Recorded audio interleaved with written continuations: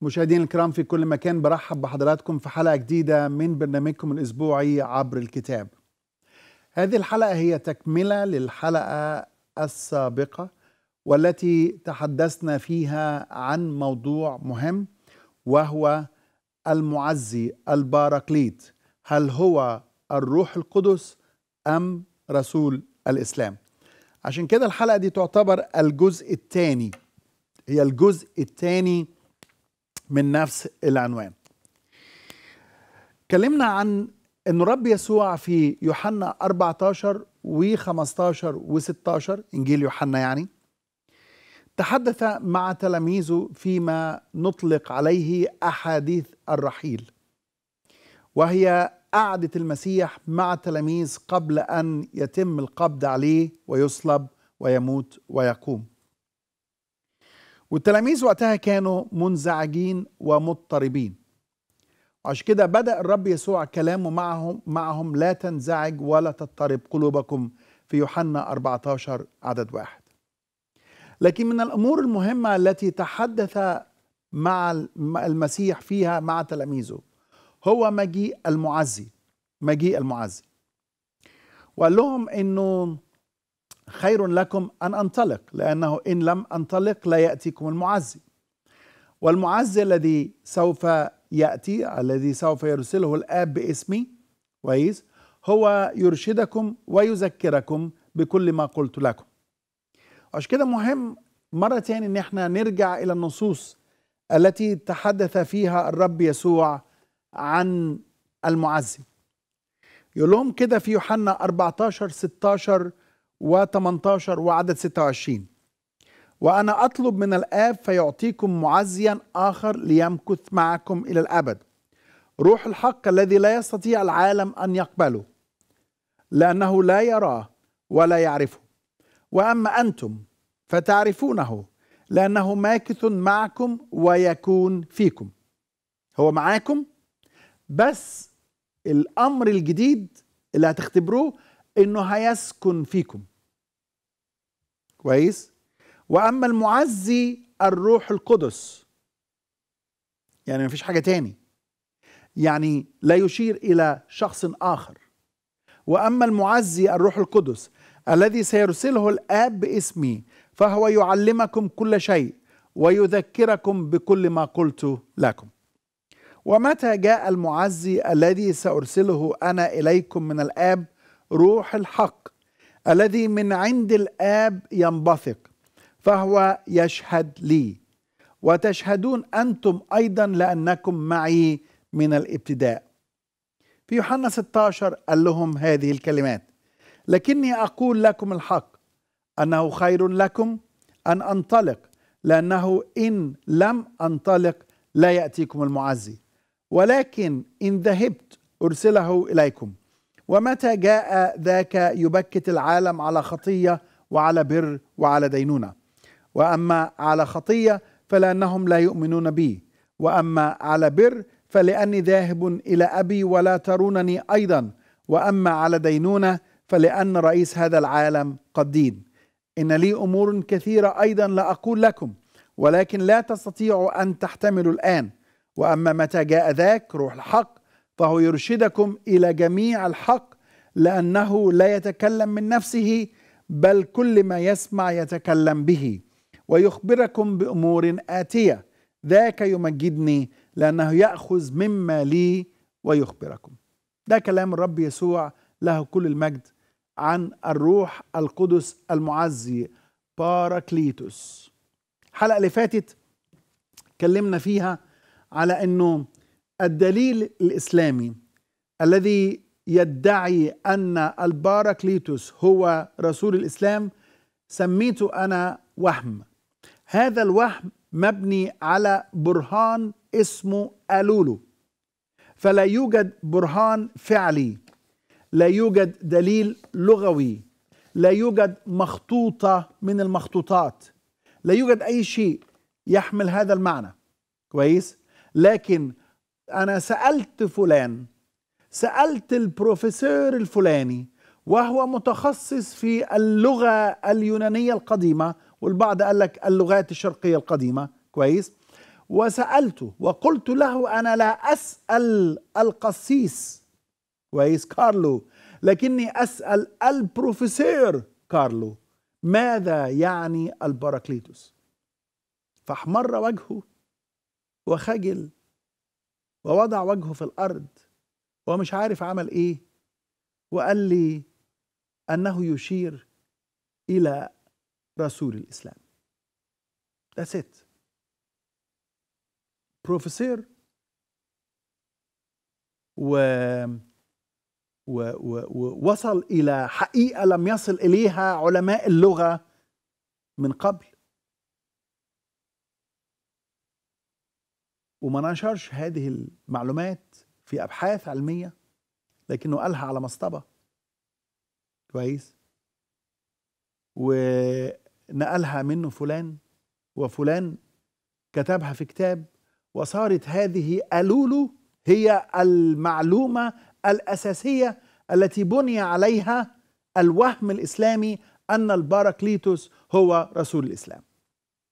وطبعا عبد الله الترجمان اللي كان آه يعني أسيس في الأندلس وكان يتتلمس تحت أكبر آه آه راس في الأندلس.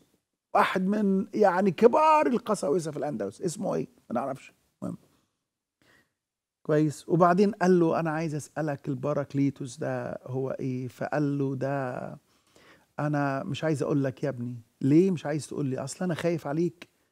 أصله لو قلت لك آه ممكن تفقد آه أكل عيشك آه بس هو رسول الإسلام. بس عايزك توعدني. عايزك توعدني. وحياة العيش اللي بيني وبينك ما تخبر أحد. ده كل ده كل الدليل الإسلامي على الباراكليتوس أنه رسول الإسلام. روايات. قالوا له. كويس؟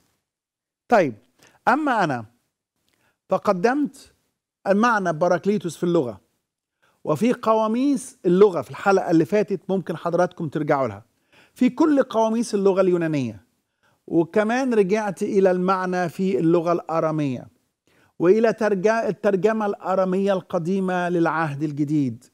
وكلمة فاراكليتوس وتعني المحامي the advocate. المحامي وتترجم المعزي وتترجم المشجع الحاث الشخص الذي يقف بجوار شخص آخر. ده المعنى بتاعها.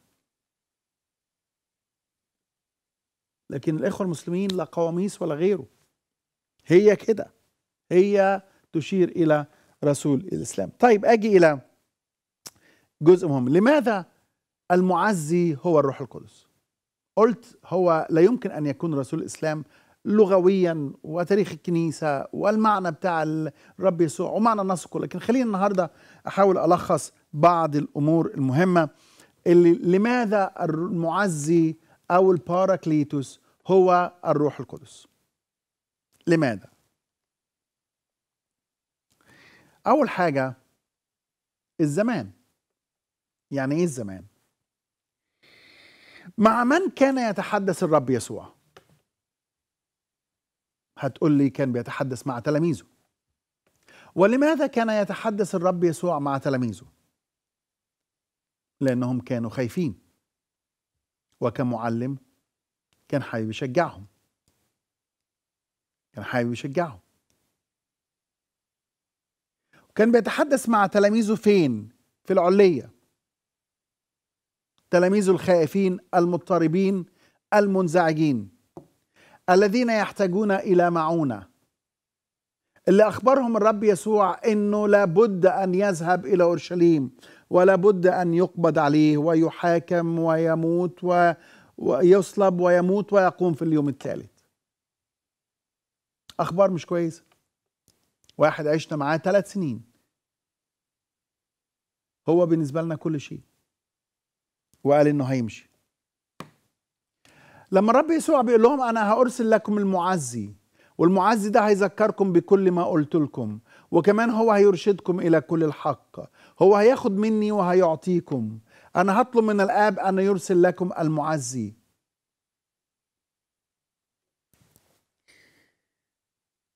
هو المعز يجي بعد 600 سنة.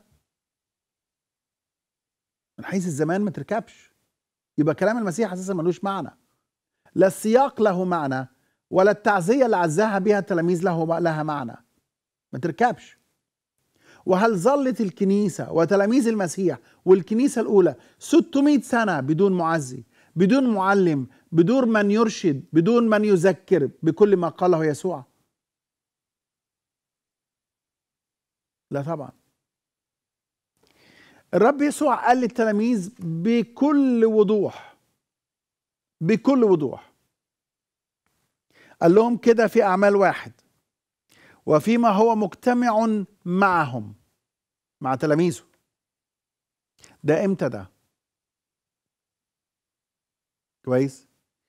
الرب يسوع أقنعهم قال لهم وأمرهم وفيما هو مجتمع معهم بعد قيامته. أوصاهم أن لا يبرحوا من أورشليم. ما تسيبوش أورشليم. ما تروحوش إلى كفر نحوم. ما تروحوش الجليل. خليكوا في أورشليم. ليه؟ إيه السبب؟ عشان تنتظروا موعد الآب الذي سمعتموه مني. هو إمتى قال لهم عن موعد الآب؟ قال لهم في يوحنا 14 و15 و16 قال لهم أنا هطلب من الآب أن يرسل معز آخر. كويس؟ يبقى المسيح بيقول لهم ما تتركوش أورشليم. مع إن أورشليم كانت نقطة سخنة جدا لأنه فيها صلب المسيح ومات المسيح وقام والتلاميذ بدأوا يعلنوا أن المسيح قد قام وأنه ظهر لهم واليهود متربصين لهم بكل الصور لكن قال لهم ما تسيبوهاش. اقعدوا فيها. حتى يأتي موعد الآب الذي سمعتموه مني. لأن يوحنا ده بقى إيه؟ كلام المسيح.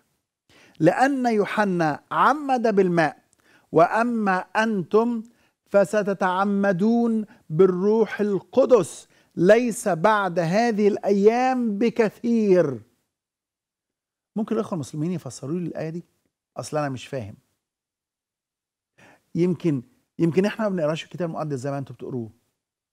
يمكن الآية دي بتعني معاني أخرى إنه ليس بعد هذه الأيام بكثير تعني 600 سنة. يا جماعة الرب يسوع بيتكلم في زمانه.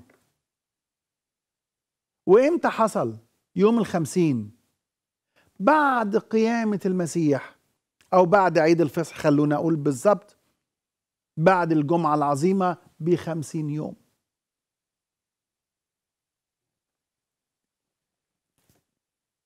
ليس بعد هذه الأيام بكثير. يوم الخمسين ونقرأ في أصحاح اثنين من أعمال الرسل. كيف حل الروح القدس على التلاميذ؟ وكيف نطق التلاميذ بلغات العالم كلها؟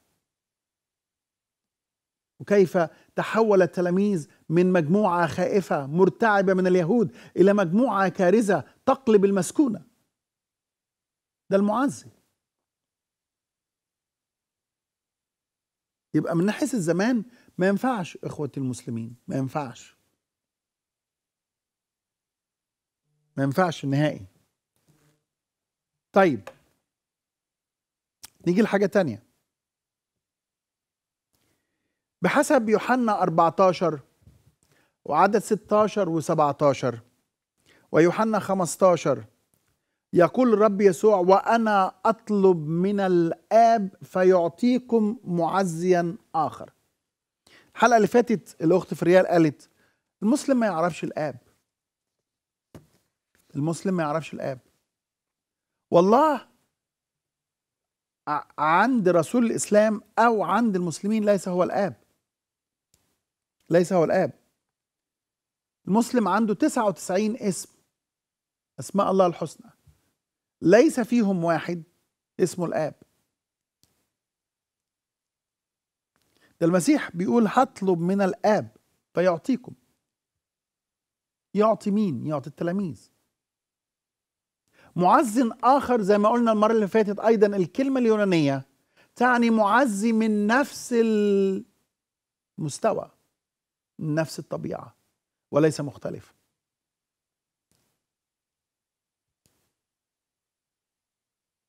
ومن يكون من نفس الطبيعة؟ إلا الله موح...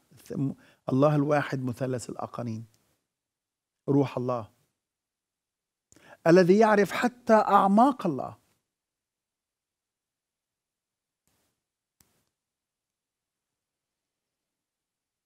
فالنص بيتكلم عن الروح القدس مجيء الروح القدس. أمر آخر. قال الرب يسوع عن المعزي وأما المعزي الروح الذي سيرسله الآب باسمي فهو يعلمكم كل شيء ويذكركم بكل ما قلت لكم. يعلمكم كل شيء. ونيجي المسلم بقى يتفلسف؟ يقول لك هل بعدما علم المسيح تلاميذه يحتاجون إلى تعاليم أخرى؟ المسيح علم تلاميذه وقعد معاهم. لكن كيف يتصرفون في الكنيسة؟ كيف يتصرفون في الكنيسة؟ إيه اللي يعملوه؟ ألا يحتاجون إلى مرشد؟ ألا يحتاجون إلى من يعلمهم؟ ألا يحتاجون إلى العبارة اللي قال وقال وإلى ما يقول الكتاب وراء الروح القدس ونحن؟ ألم يعلم الروح القدس التلاميذ كيف يتصرفون في كنيسة الله؟ عمود الحق وقاعدته؟ ألم يعلمهم أن ينتخبوا شيوخ وينتخبوا شمامسة وينظموا إداريا؟ ألم يعلمهم أن يكتبوا وأن يعزوا وأن يبشروا؟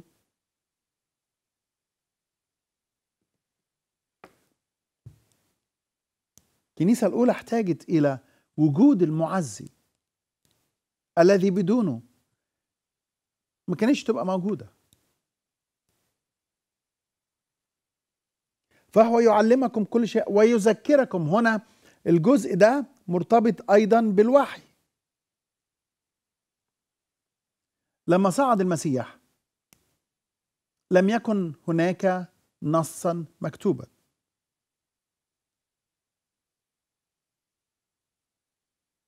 وبدأت الكنيسة تكبر. وبدأ التلاميذ يحتاجوا إلى شيء مكتوب. حتى يحمي المؤمنين الجدد من التعاليم المضلة. وأن يسجلوا فيه تعاليم الرب يسوع وحياته. وهذا هو اللي بيقول عنه كتاب ويذكركم بكل ما قلت لكم. لما الرب يسوع ترك تلاميذه في متى 28 قال لهم اذهبوا إلى العالم أجمع واكرزوا بالإنجيل للخليقه كلها. وعلموهم وعلموهم. كل ما قلت لكم. وده جزء من الوحي. مهم. والوحي اتكتب بعد فترة ليست بكثير. إحنا مش بنتكلم على 600 سنة. المعزي الروح القدس بكل وضوح الرب يسوع قالها قفل الباب أمام أي تفسير آخر. المعزي الباراكليتوس هو الروح القدس.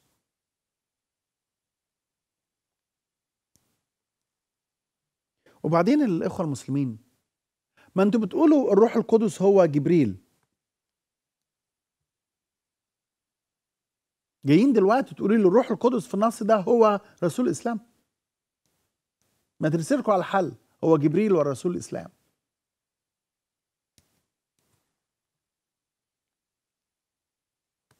هل علم رسول الإسلام تعاليم المسيح؟ هل ذكر رسول الإسلام بتعليم المسيح؟ أي واحد فير يعني عادل بيحاول يعمل مقارنة ما بين تعليم المسيح وتعليم الإسلام هيكتشف إنه أنت بتتكلم عن حاجتين مختلفين. ده بالعكس. الإسلام أتى بما هو نقيض تعليم المسيح. هتقول لي إزاي؟ ده الإسلام علم بالحق. أقول لك قول اللي أنت عايز تقوله. أنا عندي الدليل والبرهان. تعليم المسيح مقابل تعليم رسول الإسلام. مع إنه دي محتاجة حلقات لوحدها. لكن أنا هذكر كام نقطة تعتبر اختلاف جوهري. يعني زي ما قلت إنه الآب نفسه. مسيح علمنا عن الآب. الإسلام لا يعرف حاجة اسمها الآب. المسيح قال حتى عندما تصلون فقولوا هكذا أبانا الذي في السماوات. الله بالنسبة لنا هو الآب. الإسلام لا يعرف هذا. تعليم مناقضة نهائي. لكن أجي إلى نقط أساسية. دايما بتعرف الشخص الشخص بيخرج ما في قلبه. ما في قلبه في لحظاته الأخيرة. يعني بالذات لحظة الموت وهو على فراش الموت. خلاص. ما بيبقاش خايف من حاجة ما بيبقاش عنده اعتبارات لأمور أخرى. ف فبتجد ما في قلبه بيخرج منه. ماذا قال المسيح وهو على الصليب؟ يا أبتاه اغفر لهم لأنهم لا يعلمون ماذا يفعلون. ماذا قال رسول الإسلام؟ لحظة موته. لعن الله اليهود والنصارى. لعن الله اليهود والنصارى. هتيجي تقول لي إنه رسول الإسلام ذكر المسيحيين بتعليم المسيح. أقول لك سوري أنت بتضحك على نفسك. ده رسول الإسلام في تعليمه مناقض لتعليم المسيح. خد مثلا النساء والزواج والطلاق. إيه ده موضوع لوحده. تتكتب فيه كتب. تتكتب فيه كتب. وقارن ما بين حياة المسيح ونظرته للنساء وبين حياة رسول الإسلام ونظرته للنساء. وقارن ما بين تعليم المسيح عن الزواج والطلاق وبين تعليم الإسلام عن الزواج والطلاق. أنا هسيبك هنا. أسيبك هنا أسيبك لضميرك. كويس؟ هتجد إنه الاختلاف مش مش حاجة صغيرة. ده كبعد المشرق عن المغرب. كبعد المشرق عن المغرب. الاختلاف. وتيجي تقول لي لا لا أصل أنا هطبق الآية دي إن المسيح قال ذاك يذكركم بكل ما قلت لكم وأن تعليم الإسلام هي تعليم السيد المسيح. أقول لك سوري. يعني أرق وصف ممكن أقول لك حضرتك مش فاهم. خد موضوع النساء والزواج والطلاق. أنا مش هدخل فيه في تفاصيله الكتيرة.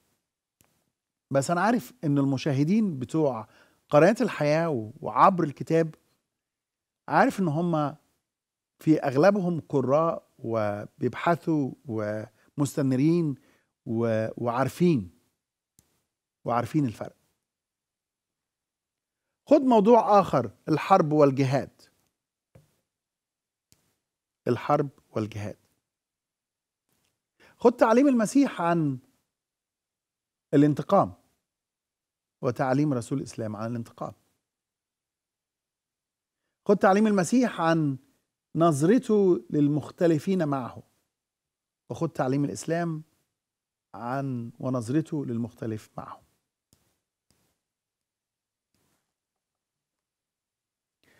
ماذا عن معاقبة الذين كانوا مستعدين للتوبة؟ يا امرأة أما دانك أحد؟ لا يا سيد ولا أنا أدينك. اذهبي ولا تخطئي ثانية. إنما بقى من سب الرسول حتى لو تاب لابد إنه يرجم وتتقطع رقبته.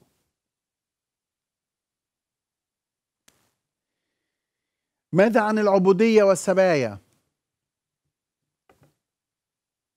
هل كان للمسيح عبيد؟ هل كان للمسيح سبايا؟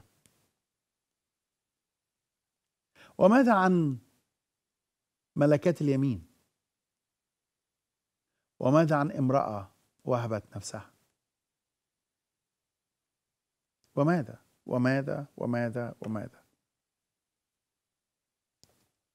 ما ينفعش عزيزي تيجي تقول لي إنه رسول الإسلام اتى لكي ما يذكر بتعليم المسيح ويكمل تعليم المسيح لأنه في جوهرها تعليم مضاد للمسيح. ماذا عن الصوم؟ ماذا عن الصلاة؟ ماذا عن كل هذا؟ ماذا عن خلاص الإنسان؟ كيف يخلص الإنسان؟ يسوع الذي قال أنه قد جاء لكي ما يقدم نفسه فدية عن كثيرين. وأنه ينبغي أن يذهب إلى أورشليم. وأن ابن الإنسان جاء لكي يطلب ويخلص ما قد هلك. كيف يخلص الإنسان في تعليم المسيح وفي المسيحية؟ وكيف يخلص الإنسان في الإسلام؟ وجهان متضادان لا يلتقيان ابدا.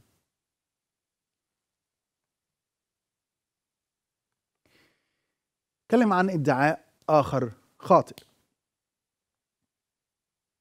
ادعاء خاطئ بيقول إيه؟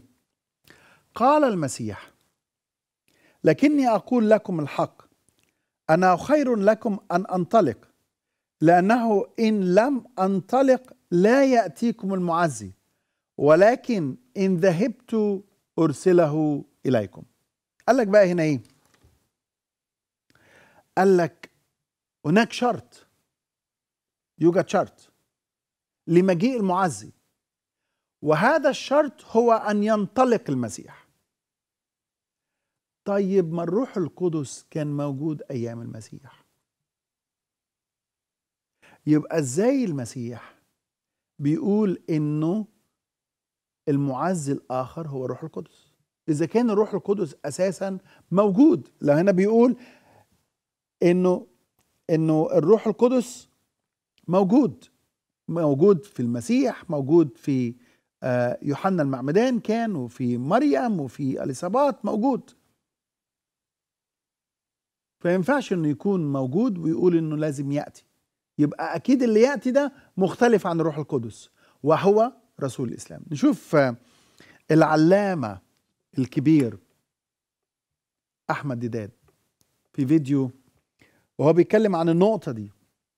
وبيحاول يثبت منها انه هذا هو الباراكليت رسول الاسلام المعزي الذي ياتي بعد المسيح شوف الفيديو ونعلق عليه الفيديو الاخير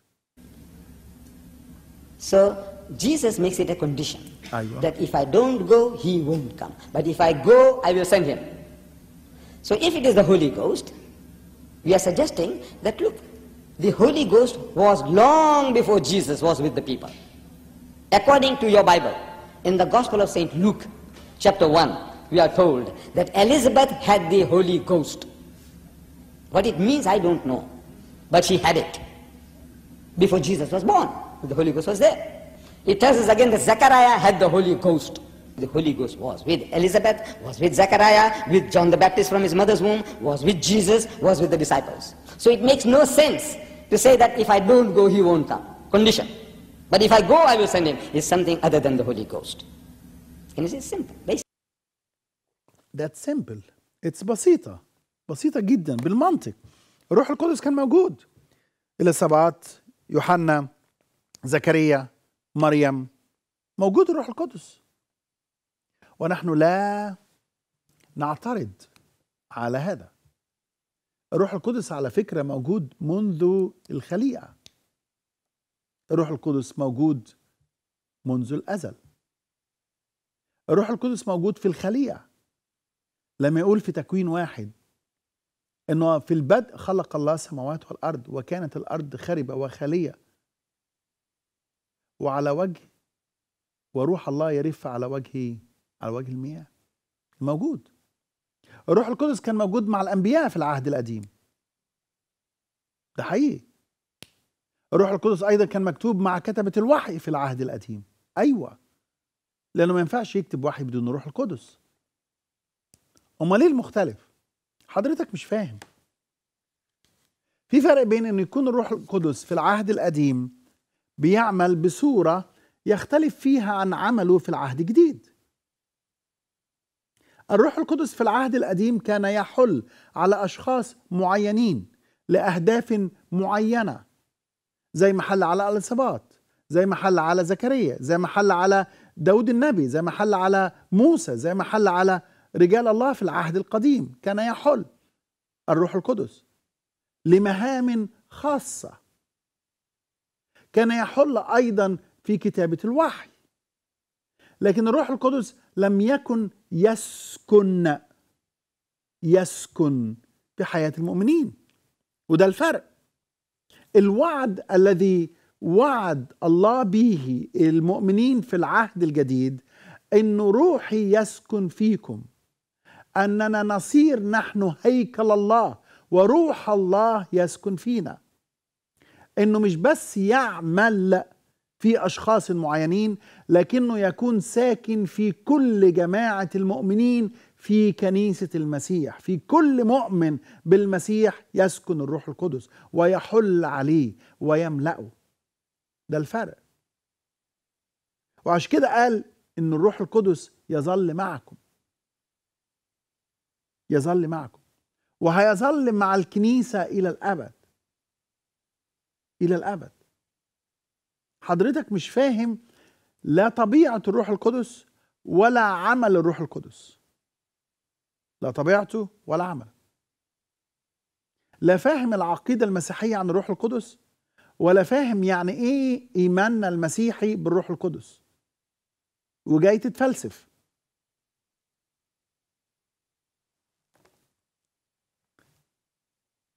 طيب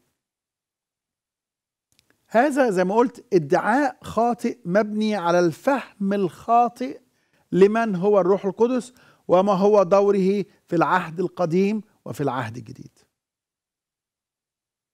وهناك فرق كبير جدا ما بين الاثنين في العهد القديم الناموس كان مكتوب الوصايا كانت مكتوبة على ألواح حجرية. في العهد الجديد الروح القدس يكتب وصايا المسيح على قلوب الإنسان ويسكن فيه ويملأه ويؤيده ويقوده ويرشده ويعطيه استنارة ويفهمه. وينطق من خلاله عندما يكون في وقت الاضطهاد والألام والمعاناة. ده الروح القدس. هناك فرق كبير بين عمله في العهد القديم وعمله في العهد الجديد. وعشان كده المسيح قال إيه؟ في عبارة قالها الرب يسوع خليني أرجع معلش لحضراتكم اوريها لكم آه من العبارات. آه um,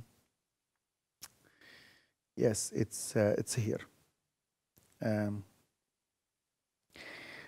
يقول هنا في في آه، يوحنا 14 لأنه ماكث معكم. وبعدين هيبقى إيه؟ ويكون فيكم. ده الوعد. ده وعد الآب. ده حلول الروح القدس. ده سكن الروح القدس. اللي حضرتك مش قادر تفهمه. الرب يسوع قالها مش أنت يعني مش مش أنت ال- المتفلسف يعني اللي جبت لنا ال- الحقيقة الضايعة لا لا لا. ده الرب يسوع قال لأنه ماكث معكم. يا لكن ويكون فيكم. ويكون فيكم. يبقى ال ال ال ال الإدعاء مبني على باطل وليس له أي معنى. طيب أجي إلى إدعاء خاطئ آخر. بيقول لنا دور البراكليت. قال الرب يسوع متى جاء ذلك يبكت العالم على خطية وعلى بر وعلى دينونة. وقال لك إخوة المسلمين تسمع الكلام ده تستعجب. يقول لك هذا هو ما قام به ويقوم به رسول الإسلام. يبكت. كونفكت يبكت يعني ينخس. في القلب. ينخس في القلب. يجعل الإنسان يكتشف حقيقة نفسه إنه خاطئ. يجعل الإنسان يكتشف احتياجه إلى الخلاص. ده عمل الروح القدس. ودي على فكرة قصة كل مؤمن بالمسيح. من أول نشأة الكنيسة وحتى يومنا هذا وإلى مجيء المسيح. وأنا عارف إنه كثيرين من متابعين قناة الحياة عابرين واختبروا هذا في حياتهم. إنه في وقت من الأوقات الروح القدس بكتك وكشف احتياجك أو احتياجك إلى خلاص يسوع المسيح. ده عمل الروح القدس. يقول لك لا لا أصله هما بقى بيفهموها إزاي؟ يقول لك يبكت العالم على خطية. القرآن يحتوي على تبكيت لليهود لأنهم رفضوا المسيح. فهو بكت اليهود على خطيته. وكمان يبكت المسيحيين. خلي بالكم إحنا. يبكت المسيحيين لأنهم جعلوا من المسيح إلها. فيبكتهم. فده عمل رسول الإسلام. لكن هنا الآية بتقول ومتى جاء ذاك يبكت العالم على خطية وعلى بر وعلى دينونة. على خطية لأنهم لم يؤمنوا به.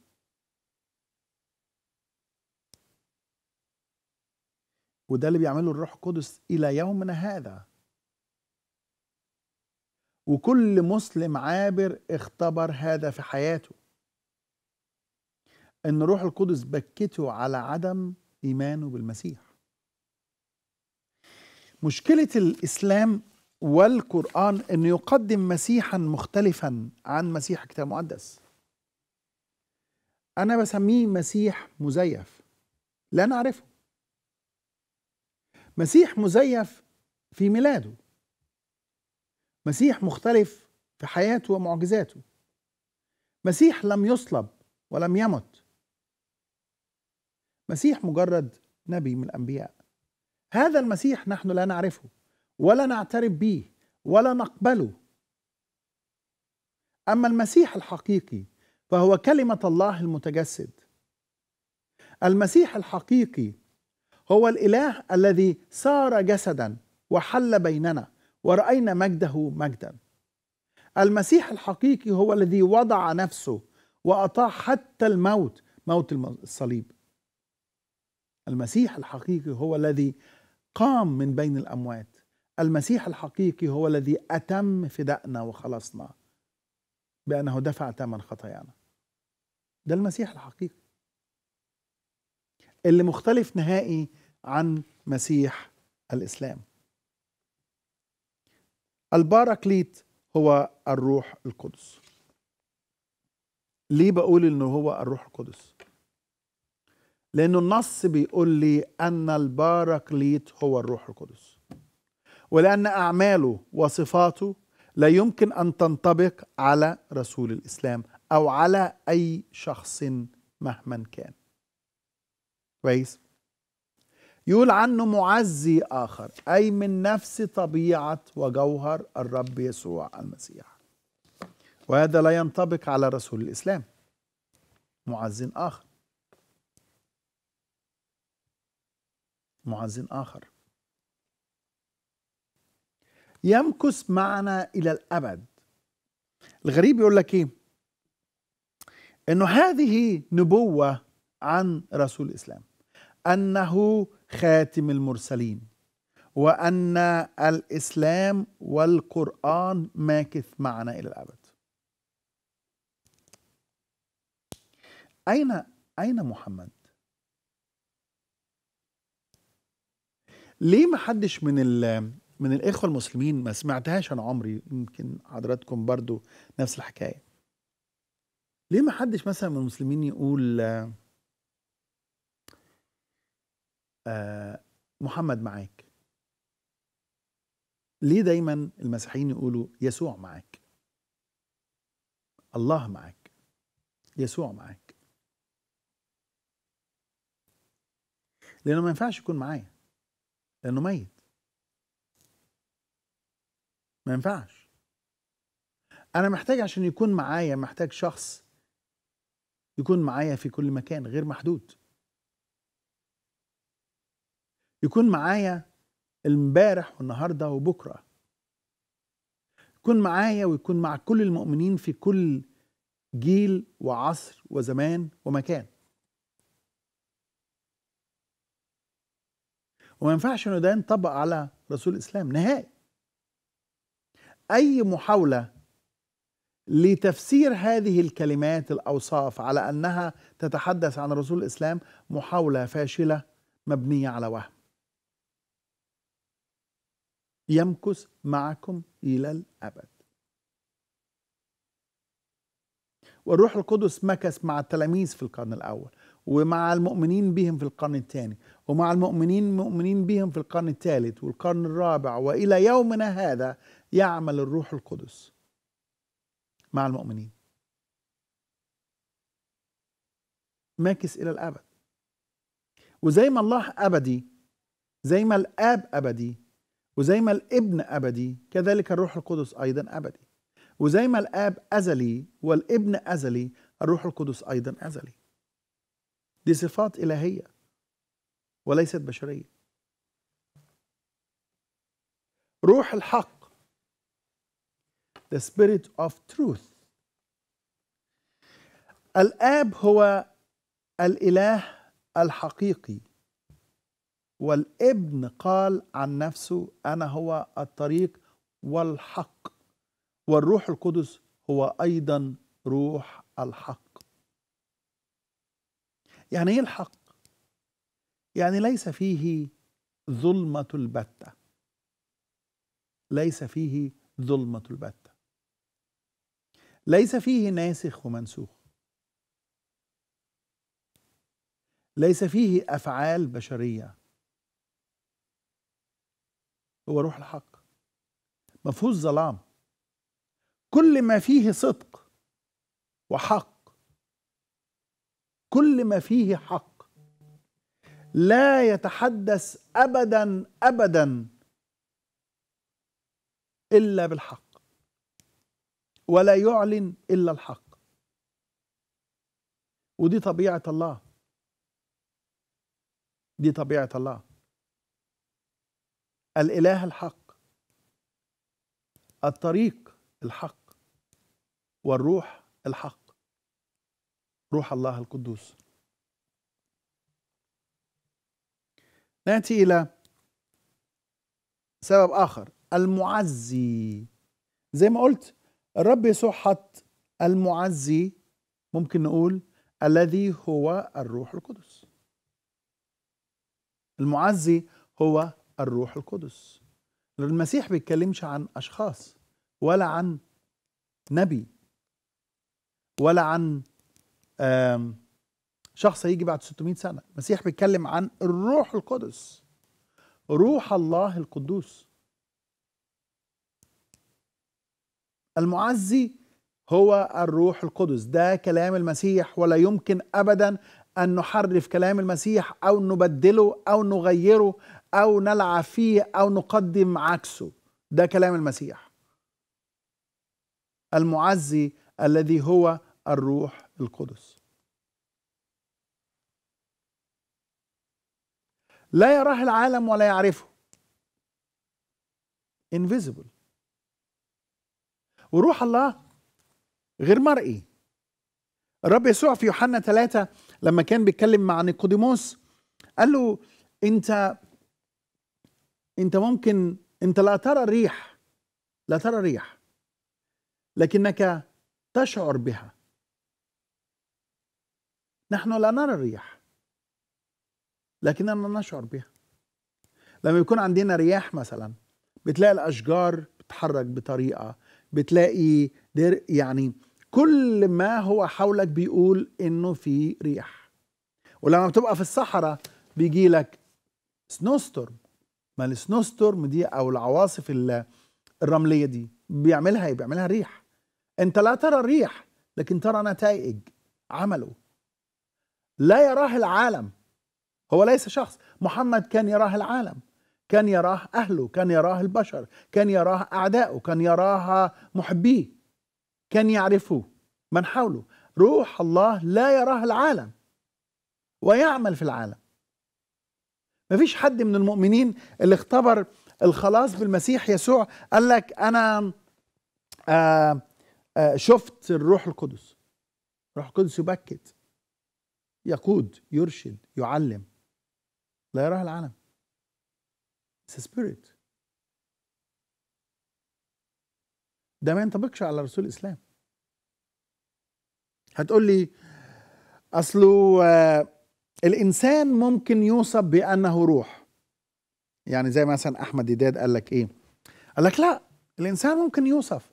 قال لك يوحنا بيتكلم عن روح ضد المسيح. آه، روح كذب. آه، فدول أكيد المعلمين الكذبة. آه بس المعلمين الكذبة أيضا مقادين بأرواح كاذبة. وبعدين حاجة من الحاجات قال لك قال لك آه آه سبعة أرواح الله. فبيتكلم عن الله من. له سبعة أرواح. هو مش عارف إنه رقم سبعة يشير إلى الكمال وروح الله بمعنى إنه إنه سبعة أرواح الله الله بحضوره الله بكماله. لكن لا ينطبق هذا ابدا على رسول الإسلام. هو مع التلاميذ لكن سوف يسكن فيهم. وفي كل المؤمنين بالمسيح من يوم الخمسين. وده دي نشأة الكنيسة. إمتى اتولدت الكنيسة؟ اتولدت يوم الخمسين. ليه اتولدت الكنيسة؟ لأن الروح القدس حل على التلاميذ. ولما حل الروح القدس على التلاميذ صاروا يتكلمون بكلام المسيح بكل مجاهرة. ولما وعظ بطرس يوم الخمسين أكثر من 3000 شخص نخسهم أو عمل بكتهم الروح القدس. وقالوا لبطرس ماذا نفعل؟ لكي نخلص. دي نشأة الكنيسة. النهاردة بنسمع عن عمل روح الله في أماكن مختلفة. في وسط طلبة في الجامعات. روح الله بيعمل فيهم. روح الله ساكن فيهم. روح الله بيجدد في الكنيسة. هو مع التلاميذ. وسكن في التلاميذ ويسكن في كل مؤمن بالمسيح يسوع.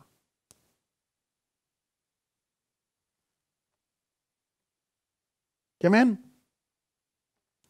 يرسله الآب ويرسله الابن معا. طيب هو مين الذي أرسل رسول الإسلام؟ هتقول لي هتقول لي الله عز وجل. فهو رسول الله. ماشي على عيني وعلى راسي. لكن المسيح بيقول إن هو هيرسله كمان. فهل معنى كده أن المسيح هو الله؟ وأن رسول الإسلام خاضع له؟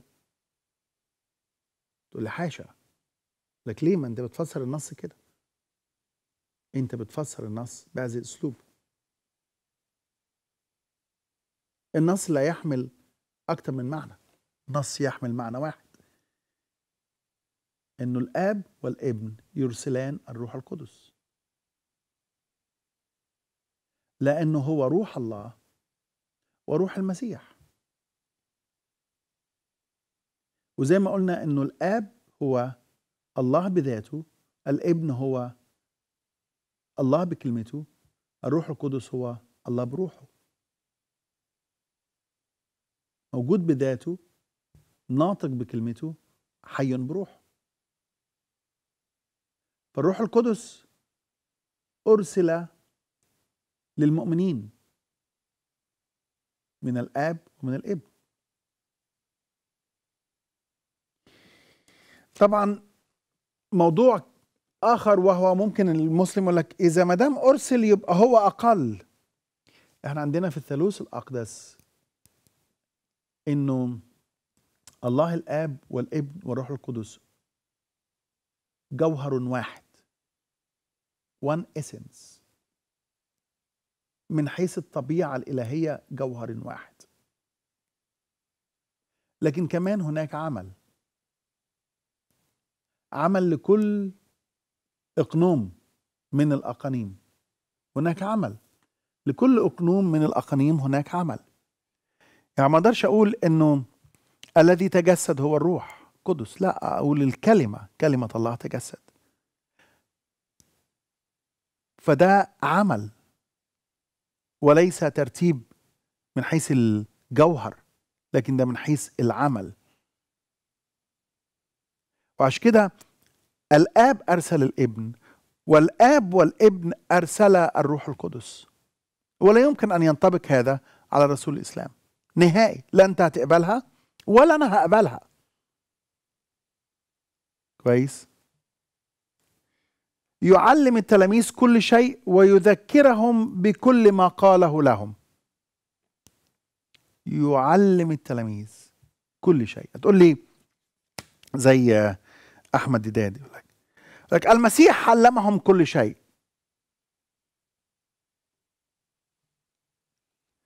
طب إذا كان المسيح علمهم كل شيء يبقى يعلم التلاميذ كل شيء ويذكرهم بكل ما قاله له آه أحمد ديداد جه عند نقطة افتكرتها دلوقتي. آه. قال لك إنه آه لي أشياء أخر لأقول لكم لكنكم لن تحتملوها. المعز لما يجي بقى هيقول لكم أشياء أخر أنا ما قلتلها ما قلتهاش ليكم وما قلتهاش ليكم عشان أنتم مش هتحتملوها. فقال لك ما هي هذه الأشياء؟ ما هي هذه الأشياء؟ طبعا هناك الكثير من الأمور التي علمها الروح القدس للتلاميذ. التلاميذ كانوا نظرتهم للصلب كنظرة اليهود. كانوا ينظرون للصلب كنظرة اليهودي العادي أن كلمة الصليب عند اليهود عثرة. فعندما كان المسيح يتحدث عن صليبه وعن موته كانوا يفهمون على أنه ده عثرة. وأنه أيضا آه إلى آخر لحظة لم يكن التلاميذ فاهمين طبيعة موت المسيح وأبعاد موت المسيح ولماذا ينبغي أن يموت المسيح؟ مين اللي عمل ده كله فيهم؟ المسيح والروح القدس. الروح القدس فهمهم وعلمهم. فهموا يعني إيه موت المسيح؟ فهموا أهمية موت المسيح. صارت الرسالة الجوهرية اللي بينادوا بيها هي أن المسيح مات ودفن وأن المسيح قام وظهر أيضا أخبرهم الروح القدس عن آخر الأيام. من الذي كتب سفر أعمال الرسل إلا الروح القدس الذي أخبرنا بما كل ما سوف يحدث في نهاية الزمان. إحنا مش محتاجين نبي آخر. يقول لنا تعليم أخرى. مناقضة لتعليم المسيح. يشهد للمسيح. هل رسول الإسلام يشهد للمسيح؟ ده رسول الإسلام بيشهد ضد المسيح. وأنا بتكلم عن المسيح اللي إحنا نعرفه. يشهد ضد المسيح. رسول الإسلام طعن في لاهوت المسيح. لاهوت الإسلام نفى أو رسول الإسلام نفى صلب وموت المسيح. صح ولا لأ؟ يشهد المسيح إزاي؟ ما الذي يشهد للتلاميذ للمسيح لابد أن يكون مؤمنا بالمسيح. أنتم شهودي يقول الرب. سكناه في المؤمنين متوقف على أن يكمل المسيح عمل الفداء ويصعد إلى الآب. وفعلا حصل كده. بعد صعود المسيح بأربعين يوم. في يوم الخمسين سكن الروح القدس حل الروح القدس على التلاميذ وسكن فيهم. يبكت العالم على خطية واتكلمت عنها. ما ينفعش دي تطبق على رسول الإسلام. يرشد التلاميذ إلى جميع الحق لأنهم يخبر لأنه يخبرهم بأمور آتية وده اللي عمله الروح القدس. أخبرهم بأمور آتية. المسيح حدثنا عن نهاية الزمان في متى 24 و 25 ده صح. لكن هناك تفاصيل أخرى أعلنها الروح القدس من خلال رسل المسيح من خلال كتابات بولس الرسول من خلال سفر الرؤيا. من خلال رسائل بطرس. الرب الروح القدس أعلن لنا أمور كثيرة آتية في نهاية الزمان. يمجد المسيح ذاك يمجدني. ذاك يمجدني. الإسلام لا يمجد المسيح. يعني الإسلام ليس منصبا على تمجيد المسيح. الروح القدس عمله الأساسي ذاك يمجدني. وكيف يمجد الروح القدس المسيح؟ أنه يأتي بالناس البعيدة لكي ما تقبل المسيح. يثبتهم في الإيمان بالمسيح. يجعلهم شهود للمسيح. يستخدمهم لمجد المسيح. يغير فيهم ليكونوا صورة المسيح في كل مكان. ده عمل الروح القدس وليس عمل رسول الإسلام. عشان كده الباراكليت بكل الصدق وبكل الحق أقول أنه هو الروح القدس وليس له أي علاقة عن قريب أو عن يعني بعيد برسول الإسلام. وأي ادعاء غير هذا يعتبر باطلا. الرب يبارككم.